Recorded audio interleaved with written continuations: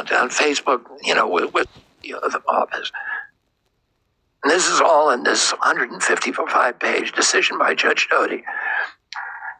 And they were telling Twitter, Twitter didn't want to censor me, and Twitter ended up censoring me the least. But you know, three three weeks after that, Instagram took my account down. Facebook, you know, was all hundred all in on it.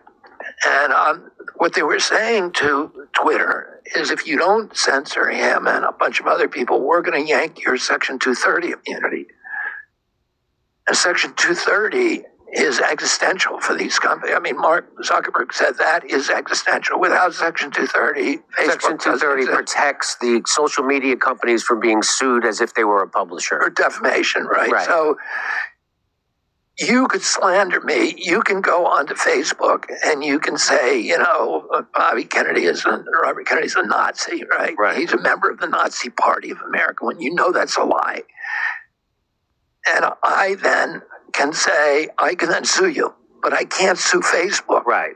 Right. And and if I could sue Facebook, they would have to vet with a lawyer every single post on Facebook and they'd be out of business. Right. Oh, they have a section called Section 230, the Communications Act, I think, that um, says they don't have to, you know, that they're, that they're protected against that. And what the White House was telling Twitter and Facebook is if you don't censor these guys, and they were censoring us, talking about the Ukraine war for criticizing it. At one point, they, one of the, uh, the, there was a there was a satire about President Biden and his wife that they wanted removed.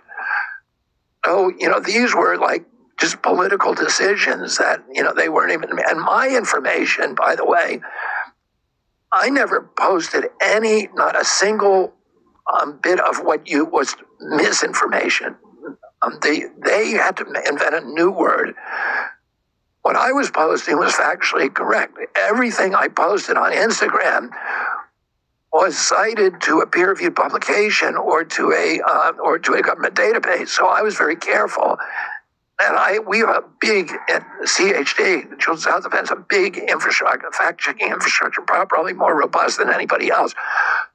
Oh, they had to invent a new word called malinformation. Yes, which is it. not misinformation malinformation, yes. which is information that is true. technically true, but it's inconvenient for the government. Yes. So, and that's what they were censoring me for.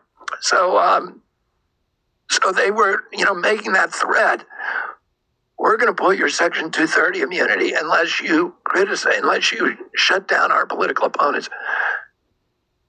What if President Trump had done that? what, would, what would we be doing if he had done that?